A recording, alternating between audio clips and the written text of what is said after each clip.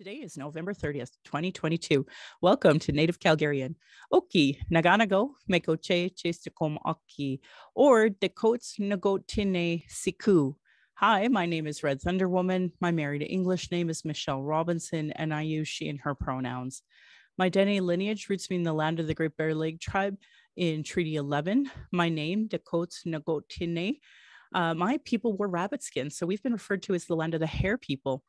Uh, I'm a native to Turtle Island, and my Dene Nation is a visitor to this area of Clincho Tine Indahe in Sahtu Dene, meaning many big dog town, named after the Calgary Stampede. I was born in Calgary or in Blackfoot, Mohkinstsis, as Michelle Elliott, an English name which has afforded me privilege in an English colonial world. My mother is Northern Slavey Dene or Sahtu Dene, but my Indian Act imposed status card by the Canadian government says Yellowknives Dene. Through my father, I am a daughter of the Mayflower, a daughter of the American Revolution, and I have an Indian Act imposed status card, which is a colonial construct by Canadian policies meant to divide Indigenous peoples' inherent rights. Indigenous Two Spirit, or the Indigenous Two LGBTQ plus community, and Indigenous women are at the bottom of the Canadian socioeconomic ladder because of colonial trauma, imposed poverty, racism, gendered violence, and land theft.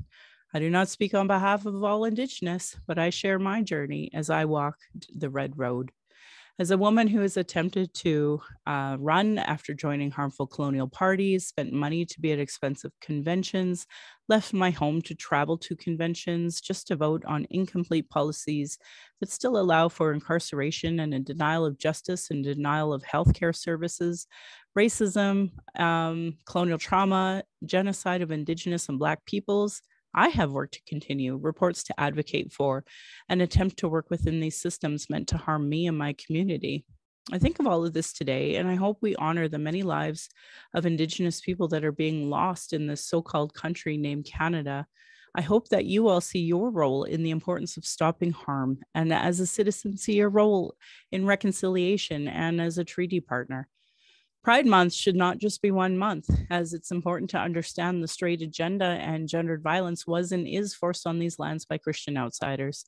Land acknowledgements are critical for creating a safer space for all Indigenous, as well as honoring the host as a guest and acknowledging your role as a treaty partner in a so called time of reconciliation. It's important that your land acknowledgements have meaning uh, stories of displacement, how you perceive your role as a treaty partner, a citizen of Canada, refugee, or other land displacements. So we as Indigenous peoples know how safe you are to be around. If you don't know how to pronounce your local Indigenous nations' names, won't say your pronouns, won't say your story of origin, won't acknowledge stolen lands, imposed economic oppression, your role in reconciliation, I determine how safe you are to be around my community, my family, and myself understanding land acknowledgements and their importance is Indigenous 101 because it immediately addresses colonialism, oppression dynamics, broken treaties, and lies taught today in Canadian schools nationally. That's why settlers and those who call themselves Native Calgarian or whatever town you might be from, you show me you have no Indigenous 101 understanding. Uh, Jesse Wente's book Unreconciled explains it perfectly, as do so many other Indigenous authored books. Land back is a movement that could save the planet from climate change created by colonialism. But uh, people would have to understand the treaty partnership, be part of meaningful reconciliation, and honoring global initiatives like the United Nations Declaration on the Rights of Indigenous Peoples. I honor the Blackfoot as the elders and members have been so kind to me on my Red Road journey. Elder Red Crane taught me how to pronounce my spirit name in Blackfoot, and Leonard Kenny taught me how to pronounce my spirit name in Sahtu Dene.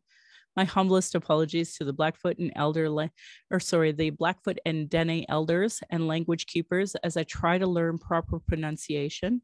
I'm speaking to you on the lands of the Niitsitapi, which is the Blackfoot Confederacy.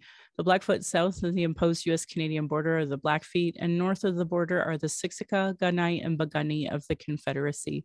These lands are Treaty 7, signed 1877, with signatures that include the Blackfoot Confederacy, the Wesley, Chiniki, and Bearspaw nations of the Stoney, and the Dene from Tsuut'ina. I acknowledge all First Nation, Metis, Inuit, status, and non status across Turtle Island as the keepers of these lands. All non Indigenous are treaty partners with the government signing on your behalf. My Patreon account is Native Calgarian, where you can pledge and support thank you to all my previous donors for showing your support. I can't tell you, uh, it's been a year since uh, we had our mishap, and your support had meant the world to us over this, over that time, and and since and before. So just know I appreciate you from the bottom of my heart, and I hope you enjoy listening. Anyway, if you value listening or watching and can afford to give, thank you. To those who cannot afford to give, I'd love to hear from you at nativeyyc at gmail.com, where you can send in your comments or questions. Also, giving a review helps whatever medium you're listening from. I have a YouTube channel that you can go and subscribe. Go to nativecalgarian.com for the latest podcasts and pin posts on social media. Well, today we are so lucky we have our 41st guest of this year. That's not including all the other years. Um, Alyjah, would you like to introduce yourself in your way? Sensei, hello everyone. Um, my name is Alyjah Ermine Neal. My Cree name is Pîsimoyâpiy Miskananapio, translates to Rainbow Turtle Man. I use he, they pronouns and I'm a two spirit, trans, indigiqueer, polyamorous person in living in Mohkinstsis, Treaty 7 territory or Calgary, Alberta. I when I think about how to introduce myself and uh, words to describe myself, those are some words that I use to describe myself. They don't tell you everything about me, but they might give you a picture of where I stand in the world. I'm from Sturgeon Lake First Nation in Saskatchewan, Treaty Six. That's where my father was from. He's he was Cree.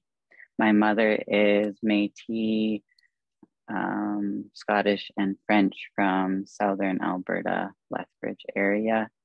Um, and I've recently learned that my Métis family does trace back to Red River settlement, and I'm learning, trying to find those connections. But I spent the last few years focusing on reconnecting to my Cree family in Sturgeon Lake, um, as my father was a survivor of the 60s scoop and found our family in his 20s, and I was able to meet them um, as well in my 20s. So lots of finding the people that look like me and like my jokes. So that's nice.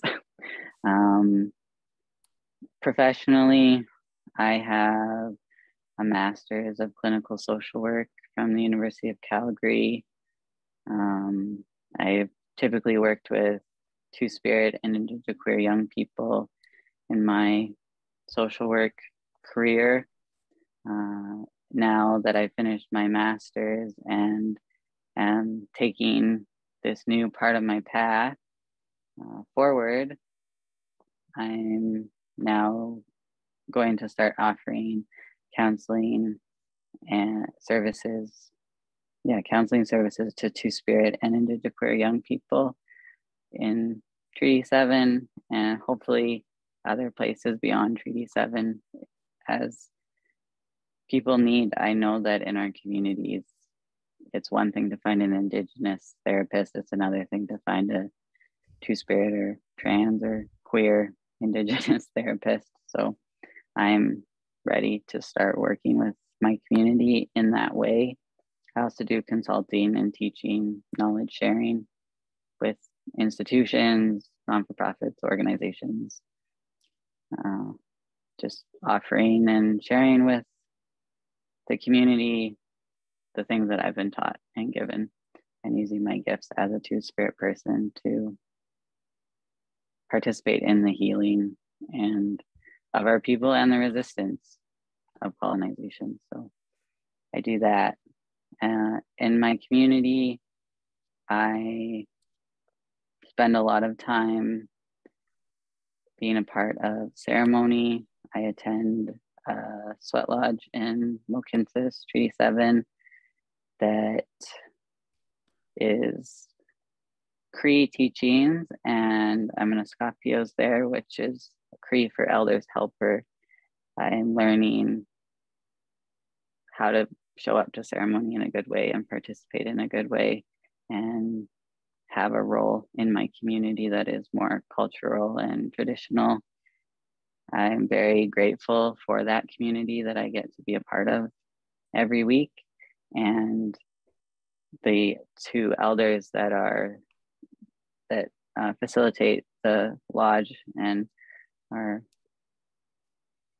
part of that community actually have uh, adopted me at the beginning of 2021 2022 um, and so the elders at that lodge are my adopted parents in this community. And so yeah i feel like i i, I am learning how to have a parallel path existence of having the western education the western experiences the the privileges that i have while also having the culture and the, the oral traditions and how to exist with that.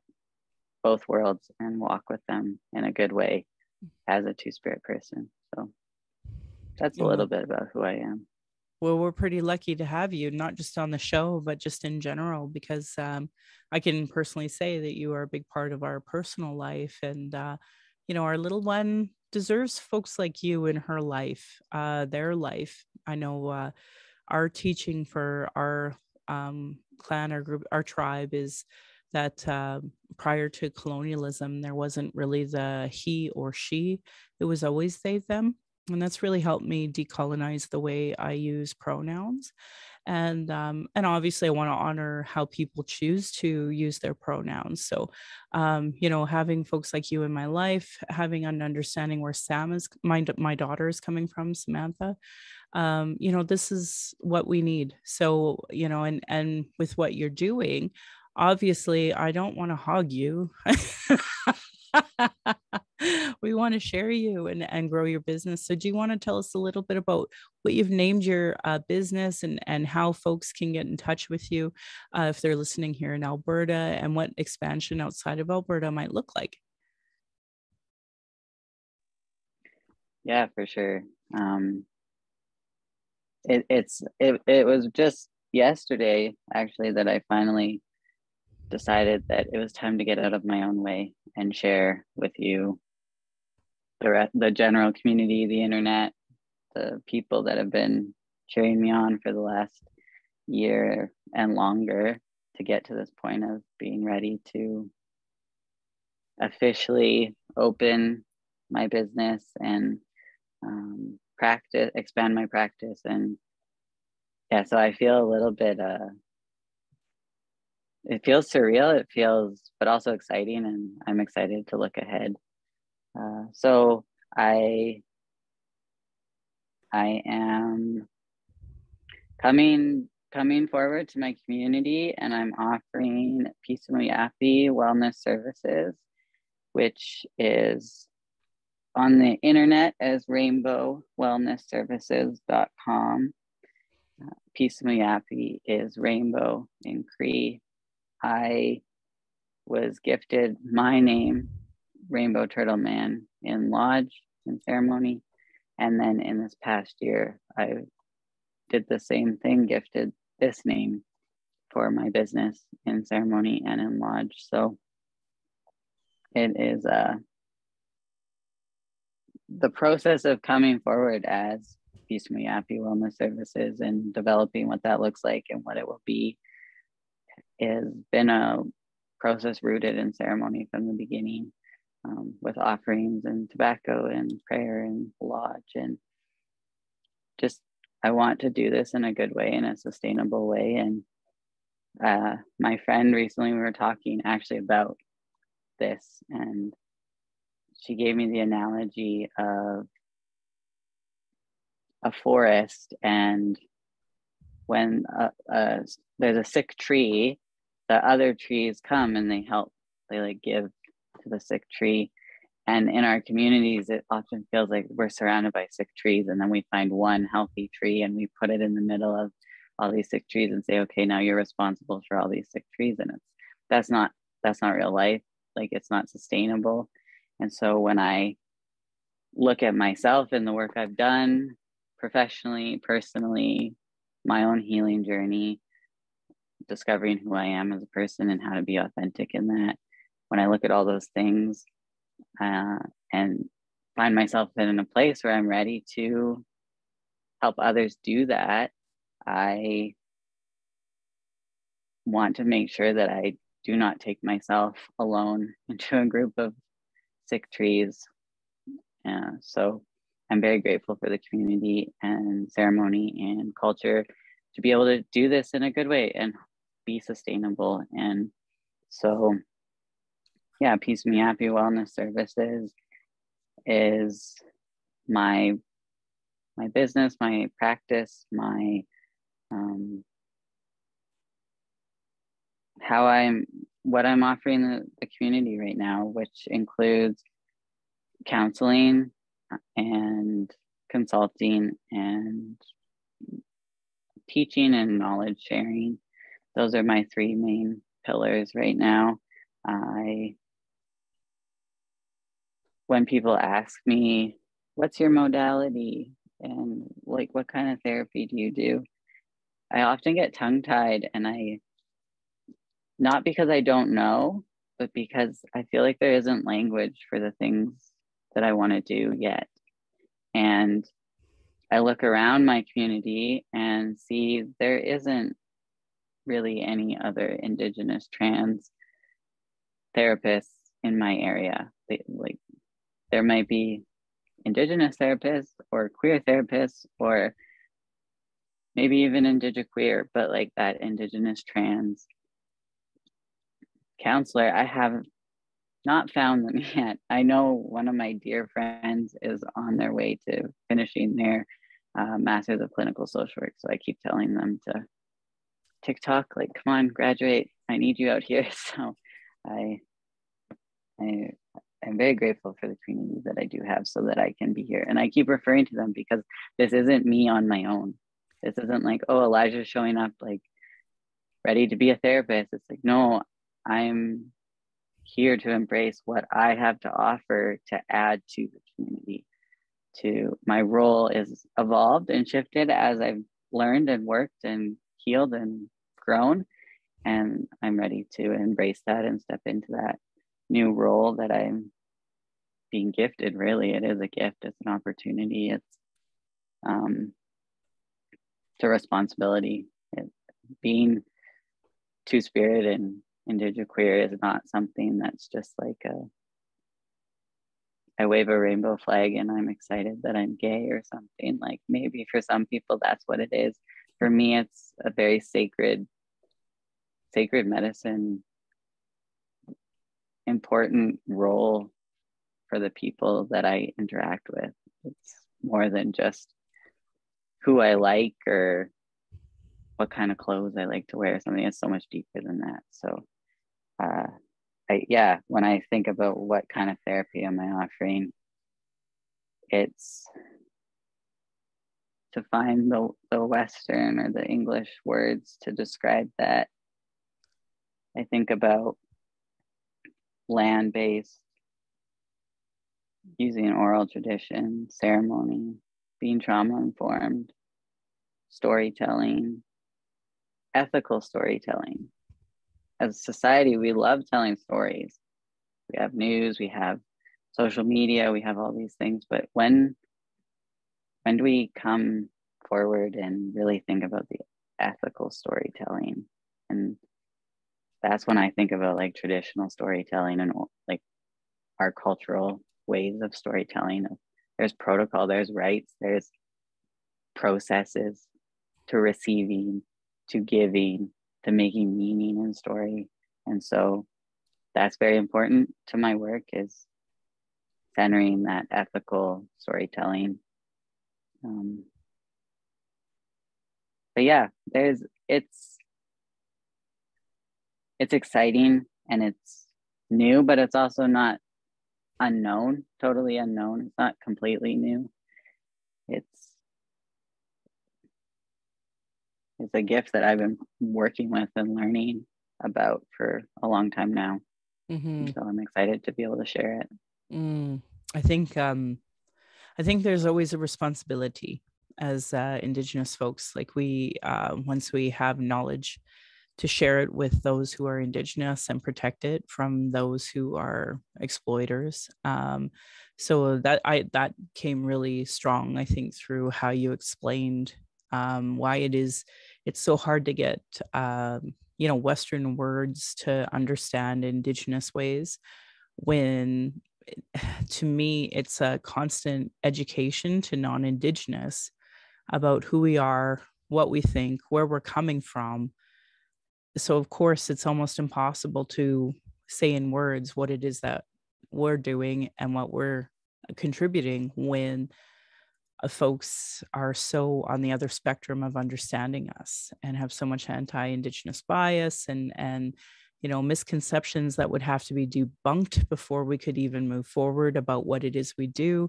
And then with our youth respecting the the responsibility that we have to be gentle trauma informed you mentioned that as well. It's so important. And yet um you know and, and the idea of ceremony you know when i talk about uh treaty i talk about how it was uh, a sacred responsibility from the folks who made that treaty how they you know lit their pipes they shared their smudge they did the ceremony with newcomers with the belief of the responsibility of what this decision would have for future generations and going in with good intent.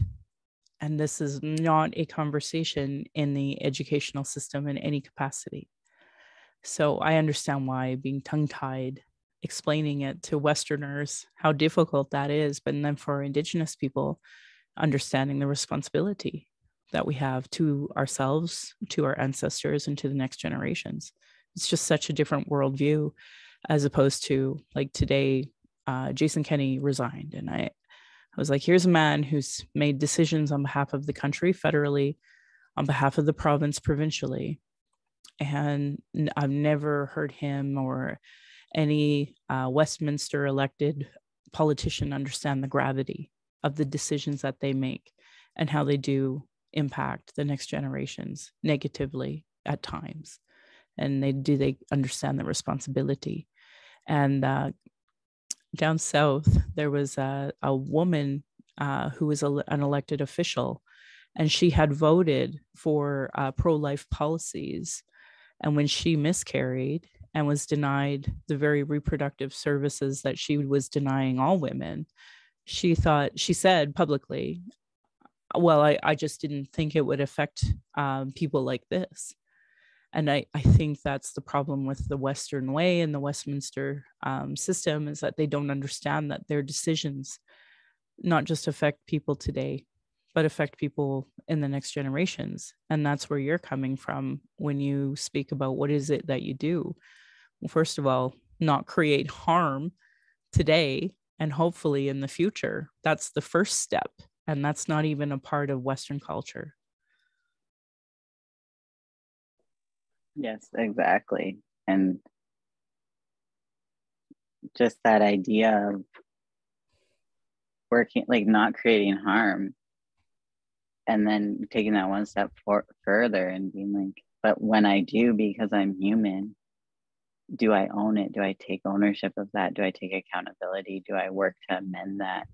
And I think our society, we so often skip over that part or an amend means oh i'm sorry yeah and that's not that's not what i've been taught that i'm a human being i'm gonna mess up sometimes. I'm gonna get it wrong. Uh, whether i'm showing up as my like to my friends to my family to work to my clients I, i'm human and i'm gonna get it wrong sometimes. And to be able to own that with grace and humility and accountability, um, I think is that step in not furthering the harm, right? Like, yeah, so I agree. I agree. Mm-hmm. Mm-hmm. Well, I um I'm really grateful that you're you're coming onto the show and you're being vulnerable and you're telling the folks what you're doing and professionally giving that information so that folks can uh, you know know how to get a hold of you, start reaching out to you. Um, we had a little conversation earlier about uh, being approved federally through Indian Affairs. Would you like to talk a little bit about that? Yeah. So as far as counseling goes, and the who you register with, and what's your role, and who what insurance covers you, and all those things, uh, there's lots of there's lots of rules and terms and things that I've had to learn. I have a master's of social work and with a clinical specialization in Alberta. So I'm registered as a social worker to the Alberta College of Social Workers. That allows me to practice in the province of Alberta as a social worker. I'm currently in the process of applying to do my registered clinical social work designation, which is uh, similar to a provisional psychologist. Do the set number of hours of supervision, set number of hours of client, con- like face to face interactions, write the exam, pass. Okay, you're a registered clinical social worker.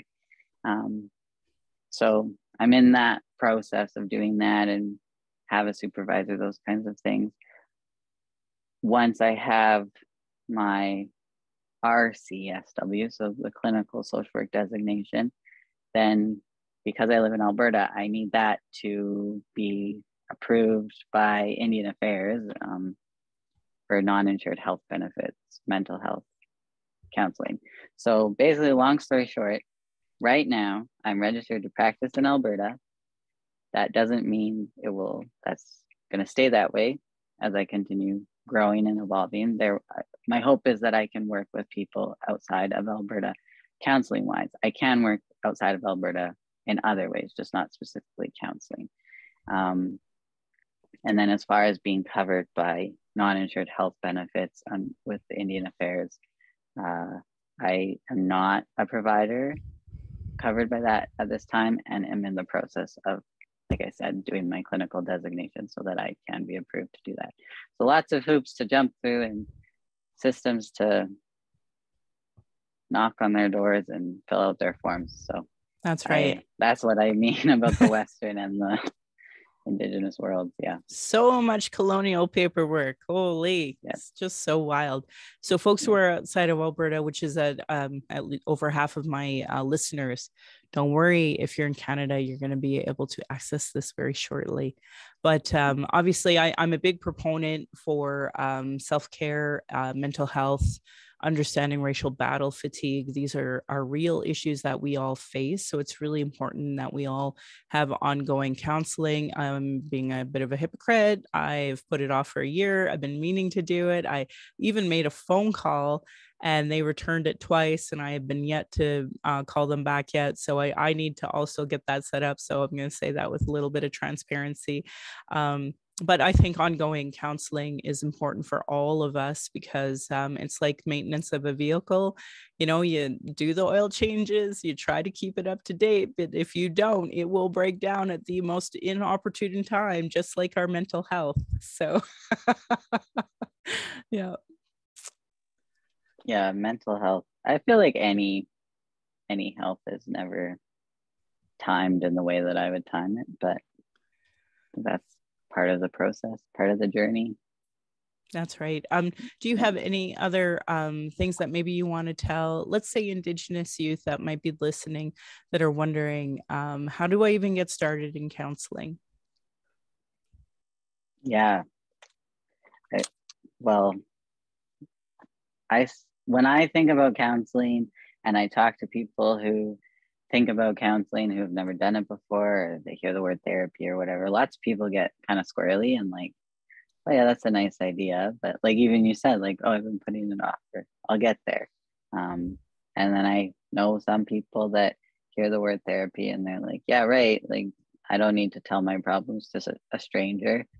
Um, and yeah i appreciate that. I don't i'm not here for people to give me their stories and tell me their problems as a stranger like that's not that's not what i want to foster when i show up saying that I'm here to work with young people, particularly Indigenous, Indigenous queer Two Spirit youth and young people, which is a there's not really a set age of what that means. Federally, we have youth goes all the way up to 29, but then provincially we have it goes up to 24 and then you get other places it's up to 18. So when I say young people, I've worked with people from 12 years old all the way up to beyond 29. So um, I'm happy to work with people that want to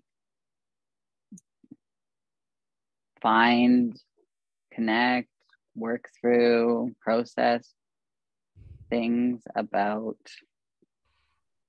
their like if they're like gender exploration or what does it mean to be indigenous what does two spirit mean? Maybe i'm trans maybe i'm not. Like those kinds of things are primarily the people that i work with and focus on. And when i say that that doesn't mean if you don't have those problems or you figured that part out like you can't come talk to me because uh, i know that everything is connected and we're all circular relational beings. And so sometimes I think, yeah, I know who I am and I've solved my gender. And then all of a sudden I realize that it's connected to a problem about X, Y, and Z. So uh, there's no limit, but those that's the population that I will primarily be working with. And um, I'm not here to just be a stranger and demand your story. No, I'm here to build relationship and offer a place to learn how to have healthy healing relationships.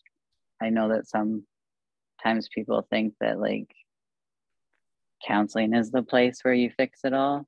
I have learned personally and professionally that the time we spend together is where you learn about the idea in real life is where you practice it and actually integrate it into your life right? So mm. uh, love that. yeah. What a, what a great way to encapsulate it. And i you know when i um i've i started volunteering at the distress center years ago and um, we actually talked about you know when i was raised i was raised like you know grieving is a process like that's really linear there's a start and there's an end and uh, then at the distress center, we started talking about how it's a process that you're always going through it. And when a new life milestone happens, you kind of reprocess things.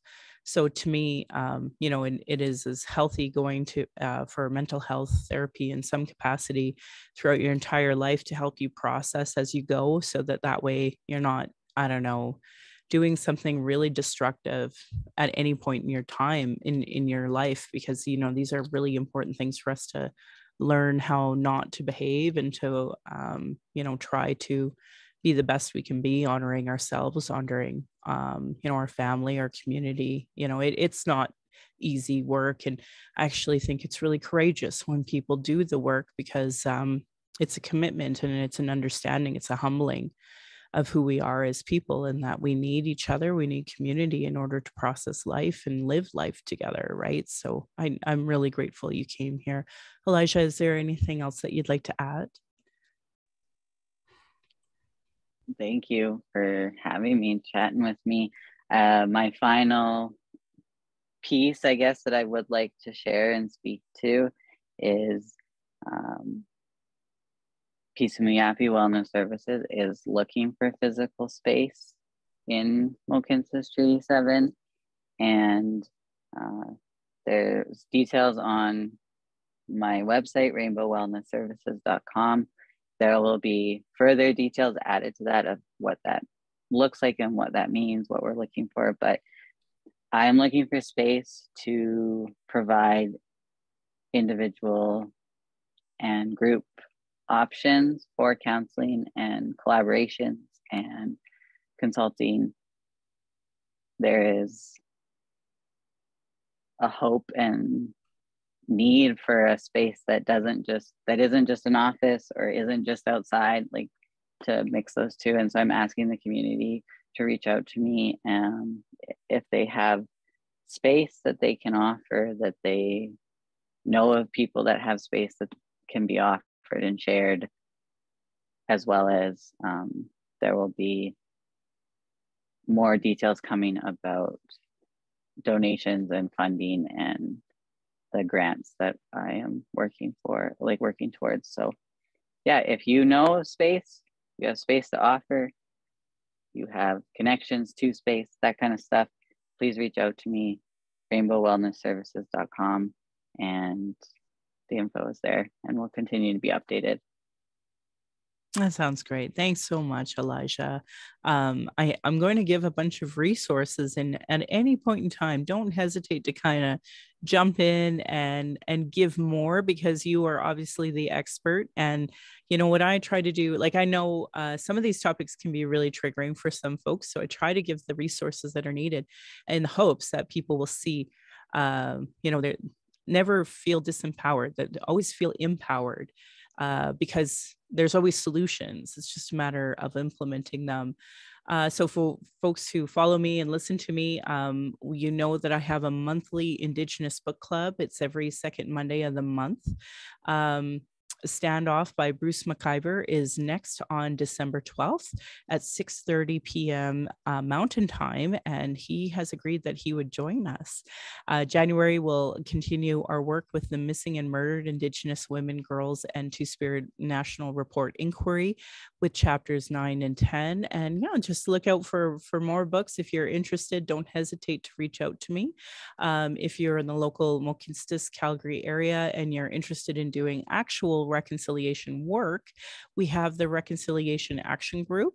Uh, we're all over social media. You're more than welcome to join our group, and we could use your help as allies. We have uh, over a million people, and there are very few folks actually trying to work towards certain things. Um, recently came to my attention that uh, Diefenbaker High School has a, a, a Chiefs mascot. So they call themselves the Dief Chiefs and they have uh, you know headdress etc and the the teachers and such tried to say that they had done some outreach to uh, some of the nations so i have started to do the process of doing outreach to those nations and saying are you aware this is how they're using our image as a mascot with angry faces etc so um, yeah, these are things that have to be done. And so if you believe in it, please donate to us, but also just join our group.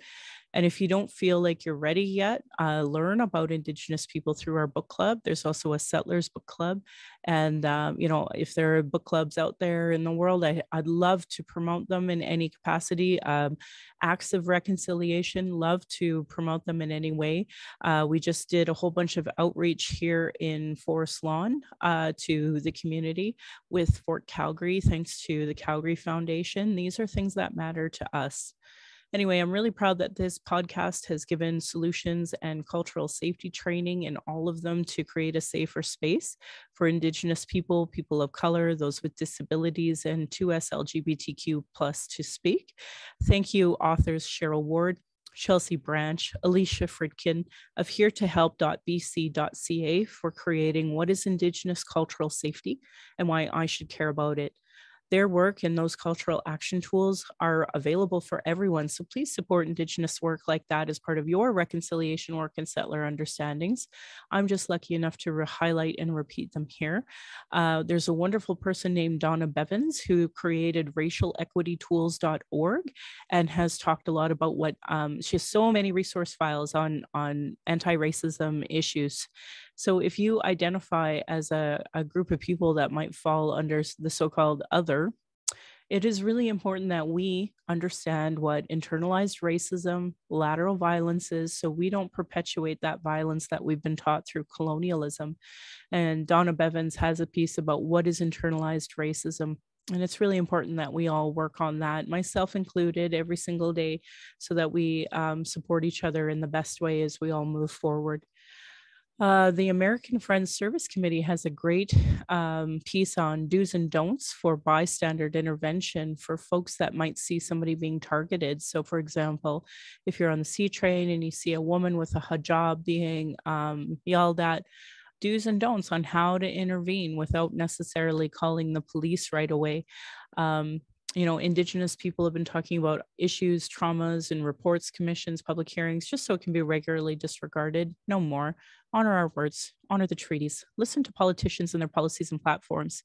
Um, I think it's really important that I address the fact that yesterday the Sovereignty Act was passed here in Alberta.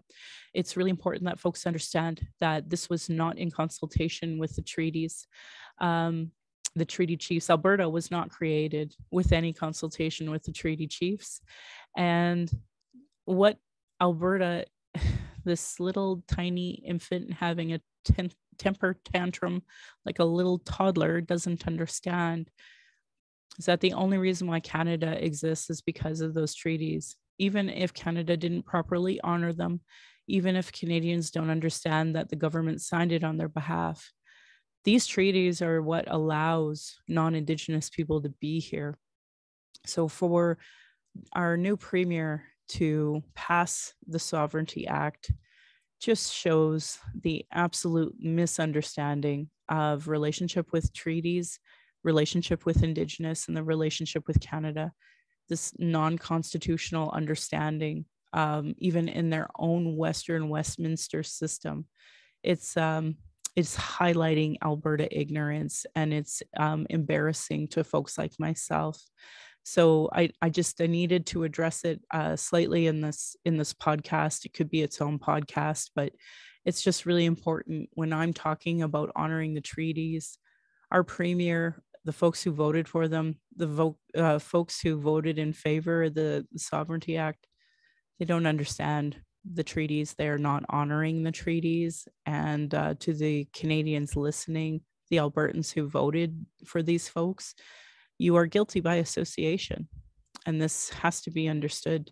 And in a time of reconciliation, also, if they don't understand marginalized in their budget with Gender Equity Plus, if they are cutting violence prevention programs, services, Indigenous education, uterus health choices, gay straight alliances, lack of human rights for migrants, immigrants, folks with disabilities, know that you're contributing to and negatively impacting so many people. Demand that they implement the TRC calls to action, the recommendations of the Royal Commission on Aboriginal Peoples, the multiple reports on child welfare reform, uh, violence prevention. We have 231 calls to justice from the National Inquiry and on missing and murdered Indigenous women, girls, and Two Spirit. And we also have 113 uh, pathways to justice here in Alberta. So it's really important that you hold your MLAs to account on it. And honestly, the Sovereignty Act goes against all of those things I just listed. Um, municipally, we have the White Goose Flying Report. Denying all these reports is a form of abuse called gaslighting. Our people are experiencing extreme racism in the justice, uh, health, educational institutions with multiple reports that say the same thing. Demand change from election platforms and politicians. If they don't understand colonialism, racism, privilege, and sexism, they literally have zero business running. This should be understood by all parties, local politicians, community organizations, sports clubs. Uh, Google articles on how non Indigenous Canadians can become allies because there's so many out there now. If you're experiencing emotional distress after anything we talked about today and want to talk, you can call the First Nation and Inuit Hope for Wellness helpline at 1 855 242 3310. It's open 24 hours a day, seven days a week, and you can also text on their hopeforwellness.ca website. If more related to missing and murdered Indigenous women, girls, and Two Spirit, you can call 844 413 6649. It is also a 24 7 crisis call line for folks. If you are non Indigenous, uh, there are distress center lines in your area, usually a functioning 211, or you can call 833 456 4566. The 60 Scoop Indigenous Society of Alberta is ssisa.ca. Uh, the following are two SLGBTQ plus crisis supports, which are available in most areas across Canada, uh, thanks to the Trevor Project. If you go to lifevoice.ca, you can see the Trans Lifeline at 877 330 6366 and the Trevor Project for LGBTQ youth at 866 844 7386. Now, the whole reason why I'm so grateful Alyjah came on is that at the end of the day, a lot of these types of numbers don't acknowledge the two 2S and they don't have the intersectionality of understanding Indigenous or Two Spirit. So that's why it's so important for us to all get counseling on a regular basis. But most importantly, there is a divide sometimes in the LGBTQ community because of the lack of understanding and the racism that is there. So always be uh, cognitive of that and work really hard at trying to respect that this is a real problem across this country. We want to be LGBTQ inclusive, yet we don't always include the two spirit. And I'm actually having a tiff with the local group over this right now. um, overdose and uh, drug crisis is a major issue right now, drug poisoning. Um, so our big my big message is if you are using substances do not use alone. If you are using there are two apps that you can use the brave or DORS app uh, so you can download them and and help you through that if you are using alone. The national overdose response service also has a number at 888-688-nors for support. Um, yeah, we're, we are losing hundreds of people a month over these drug poisonings. And uh, institutionalizing recovery is not going to work. It's going to create more trauma, uh, doing the opposite of what we want. So I just do not support the direction our, our province is going in any capacity uh, with cutting services in that direction. Violence is my everyday reality. Every Indigenous generation has faced it. This is self care, how I take my power back. This is why I started the podcast to speak freely without interruption, tone police, leadership shaming, gaslight, gaslighting questions, as many people don't want to hear Indigenous opinion, but sure want to tell us theirs, even if they don't know anything about us. It is really important that folks listening understand what colonialism colonialism is the constant surveillance of indigenous people our protest our vigil and our rights and um, the mainstream media does not give that space. That's why it's important to follow other Indigenous media, Indigenous people, and listen to our words. Um, I and many others share info on microaggressions daily. It's unacceptable to say them anymore. Learn about being trauma informed. Folks like me are dealing with internalized racism and gatekeeping. folks who survive off the status quo and are in their trauma. So that's why working on internalized um, oppression is really important. So we uh, don't stop people from doing good work and deplete all the personal resources. Internal and external racism is an everyday reality for me, Indigenous peoples, folks with disabilities, uh, LGBTQ2 plus, BIPOC, and others. Um, Masicho to my ancestors, to my granny, and my mom mama what strength looks like through your example. I want to thank my dad for teaching me to be strong and blunt my stepmom for showing me what a proud culture is uh, through her Austrian family roots and teaching me to be a proud Calgarian. It is through her I am a second generation proud Calgarian. Thank you to my husband Darcy, big Buffalo rock man. Um, for producing and editing the show, on top of being my husband, my childhood friend, my editor, my producer. Uh, he has been my support down the, my journey of the Red Road, witnessing decades of racism and sexism. And to our child, Thunderpipe Necklace Woman, we are blessed to learn from you every single day, and we are honored you chose us. You give me daily accountability to be a better and stronger person. I hope my daughter and my family will be proud in the future of us trying to discuss these present day issues in a way that they can understand. My Patreon account is Native Calgarian, where you can pledge and support. Thank you to the previous donors for showing your support. If you value listening or watching and can afford to give, thank you. To those who cannot afford to give, I'd love to hear from you at nativeyyc at gmail.com, where you can send in your comments or questions. I also have a YouTube channel that you can go and subscribe, and you can go to nativecalgarian.com for the latest podca- podcast and pin posts on social media. Um, I graduate tomorrow from the uh, Indigenous Accelerators program through TikTok. So I want to say thank you to TikTok for teaching me uh, not just about uh, TikTok, uh, but a little more about who I am. I uh, had to do a lot of deep reflections on a lot of things, and I really appreciated that opportunity and the opportunity of all of the teachings of all of the guests you brought in and your staff. And uh, I was really honored to be selected. And for that, I just say Masi Cho from the bottom of my heart for empowering me to be a, not just a better podcaster, but also understanding more of my responsibilities as well as I use my voice and I use my platform. And I want to end by giving side eye to those Calgary rabbits. You're lucky I'm not tradish. And my beautiful cousin responded, or you'd be in my dish. So thanks, folks, for listening.